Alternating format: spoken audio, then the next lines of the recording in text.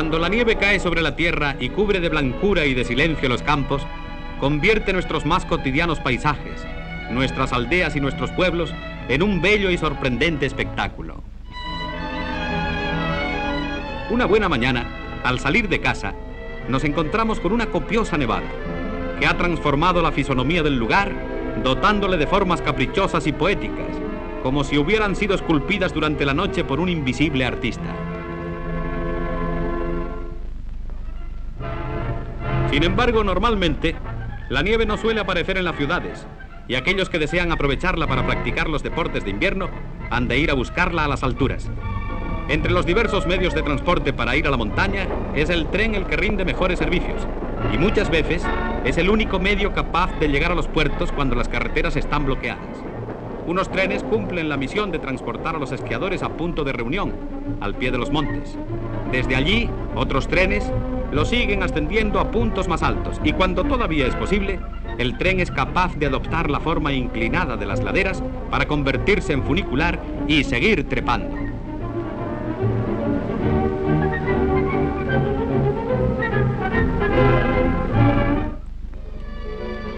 En las proximidades de las cúspides el tren se achica y adquiere el ansia de vuelo de los teleféricos, desde cuyas carlingas se puede admirar la grandiosidad de las cimas nevadas.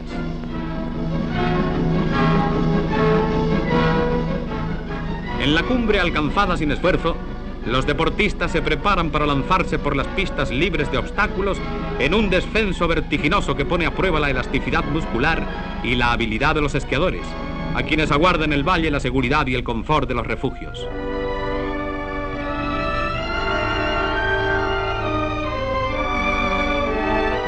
Pero un presagio de tormenta se anuncia en las alturas. El viento arrastra las nubes y barre con violencia la montaña.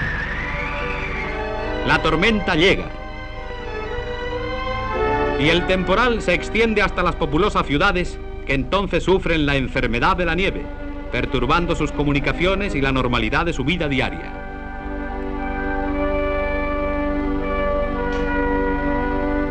En estas ocasiones, la nieve pierde su carácter espectacular y bello para convertirse en un serio trastorno capaz de ocasionar pérdidas y daños de todo orden.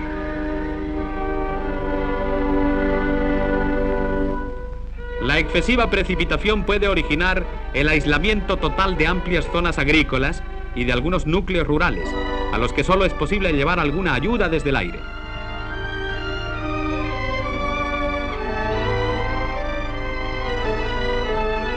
Los rebaños tratan de huir del asedio del frío y las pequeñas aldeas están amenazadas de desaparecer enterradas. Hasta el ferrocarril, el sistema menos vulnerable al mal tiempo, sufre graves dificultades cuando sobrevienen las grandes nevadas. Se han de tomar medidas de urgencia enviando brigadas de trabajadores para luchar contra la paralización, auxiliados por modernas máquinas quitanieves.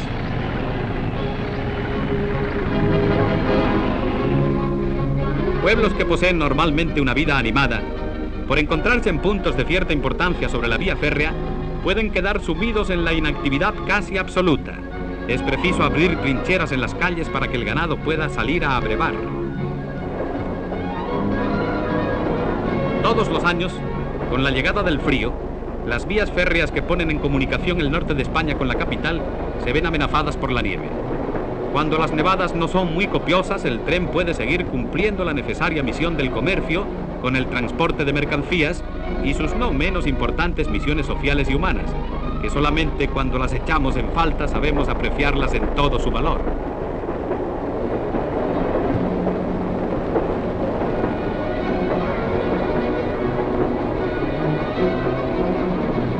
En esta ocasión la nieve no cesa de caer, y amenaza con convertirse en persistente temporal.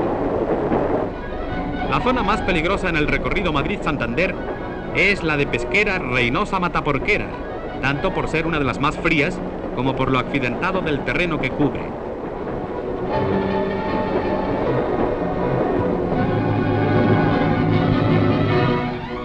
El tren hace su entrada en la estación de Reynosa, cubierta ya con espesas capas de nieve, aunque todavía se ha podido mantener por ella la normalidad del tráfico ferroviario.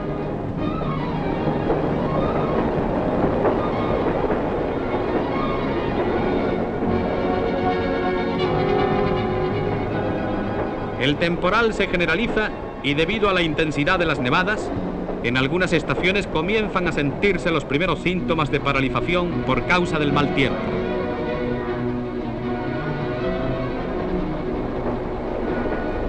La estación de Pozazal se halla situada en uno de los puntos de más altitud de todo el recorrido.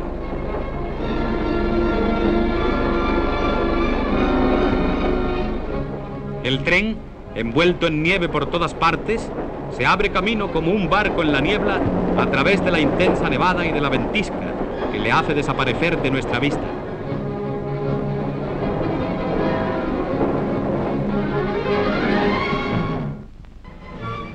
En esta ocasión el temporal ha sido tan intenso que ha conseguido vencer momentáneamente al ferrocarril.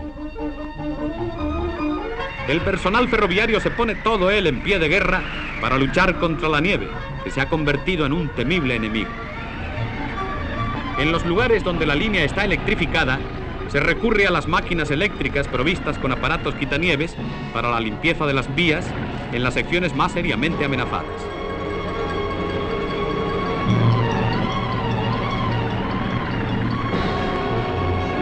En las estaciones se mantiene una constante vigilancia, a fin de que los trenes puedan seguir circulando por ellas sin peligro alguno.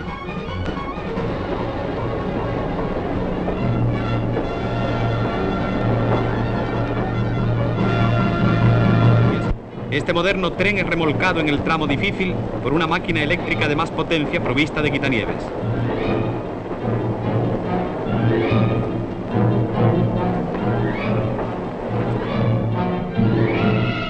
Los cambios de vías han de estar en perfectas condiciones de funcionamiento. Para ello se dispone de aparatos lanzallamas con cuya intervención se vencen los efectos paralizadores del hielo.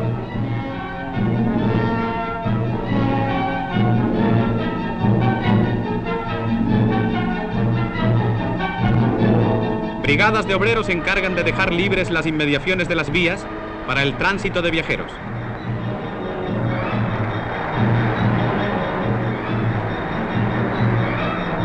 Es necesario abrir caminos y limpiar los andenes y servicios de las estaciones.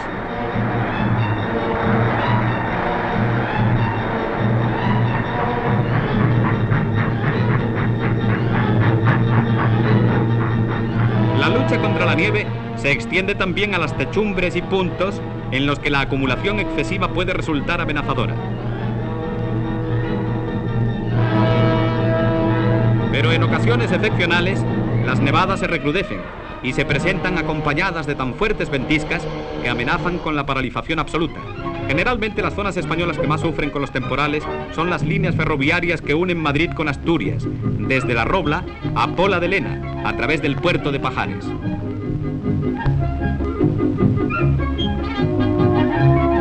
Y la de Madrid a Santander, desde Quintanilla a Pesquera, a través de la zona de Reynosa.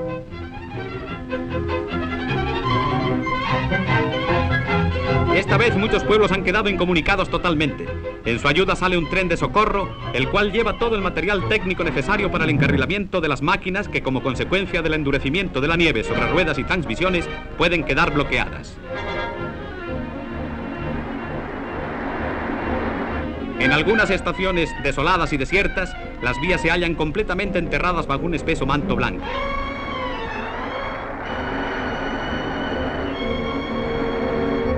Trenes completos quedan sepultados. ¿Quién reconocería en esto la puerta de entrada de una estación? ¿Y quién sería capaz de afirmar que bajo estas caprichosas formas hay un correo o un mercancías que no pudo seguir adelante? Y las estaciones semejan cada vez más lugares desérticos. Alguna máquina exploradora vencida por la nieve que se endurece rápidamente ha quedado aprisionada.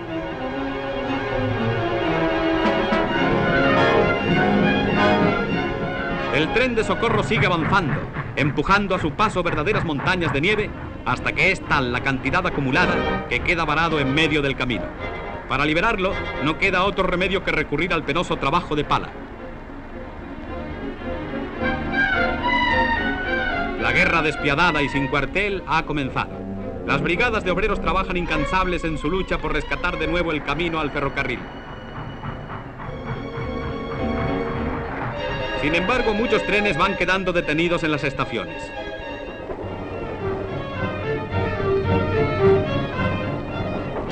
Se intensifican los medios de lucha y cada vez es mayor el número de máquinas eléctricas quitanieves que no se dan tregua ni descanso en la batalla entablada. Vean ustedes en esta escena captada temerariamente por nuestro operador la velocidad y fuerza con que es barrida la vía por una de estas locomotoras. En cada pueblo, en cada estación del recorrido, será una nueva y renovada batalla que habrá que ganar al mal tiempo.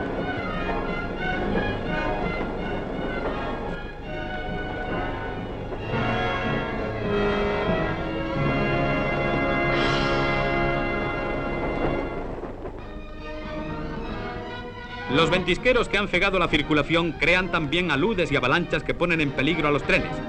Dos locomotoras del rápido de Gijón, al ser sorprendidas por la tormenta, quedaron aquí aprisionadas y hasta unos días después no fue posible rescatarlas a costa de grandes esfuerzos y trabajos, con temperaturas que en algunos momentos llegaron a ser de 20 grados bajo cero.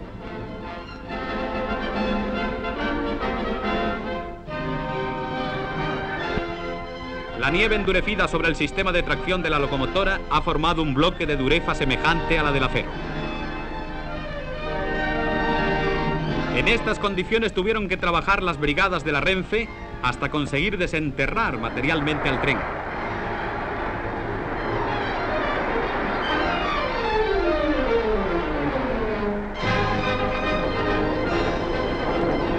Por fin puede ponerse en marcha nuevamente la locomotora, que avanza ya por entre los paredones formados a ambos lados de la vía.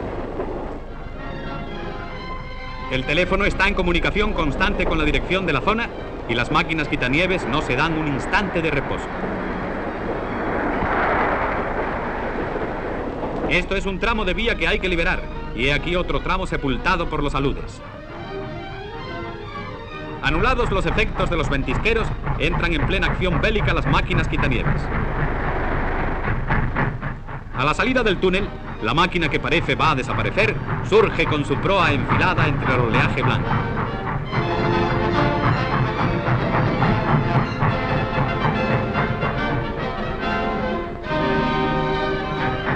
Batalla prosigue cada vez más encarnizada con la enorme fuerza de choque de estas máquinas, a las que en la jerga ferroviaria se las denomina con el nombre de cepelines, su enorme peso de 35 toneladas de acero y la destreza e intrepidez de sus conductores las hace avanzar como poderosos tanques capaces de arrastrar todo lo que encuentran a su paso.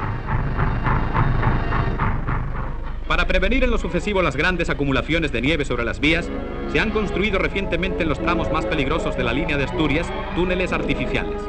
Estas obras, ejecutadas todas ellas en el corto plazo de tres meses, miden un total de un kilómetro de extensión y en ellas ha invertido la Renfe 14 millones de pesetas, con el fin de evitar en lo futuro las interrupciones del servicio.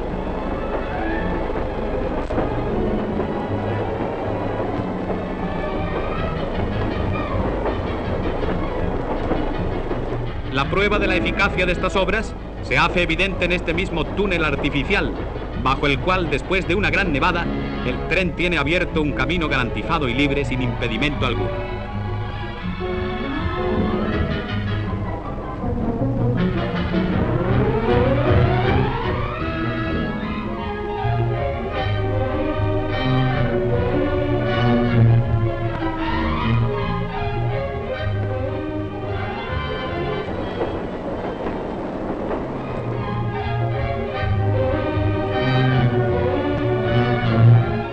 Empleo de estos medios y de las modernas máquinas rotativas, se podrá en lo futuro acometer más rápidamente y sin necesidad de emplear numeroso personal la limpieza de las vías, dejando el camino ferroviario abierto constantemente al tráfico que pone en comunicación la zona norte de España con el resto de la península.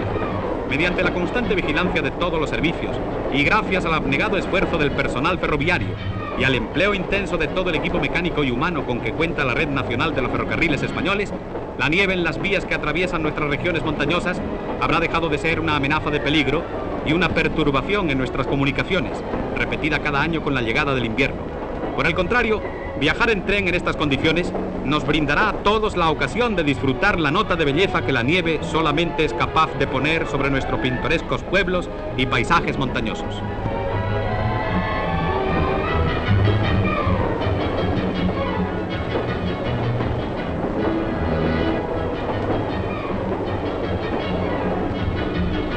Crisis planteada a los ferrocarriles por el frío de la estación invernal ha sido vencida una vez más. El camino está abierto, sobre la vía libre, vencida la tormenta en la batalla librada contra la nieve por el ferrocarril, arteria vital del comercio y de nuestra vida nacional.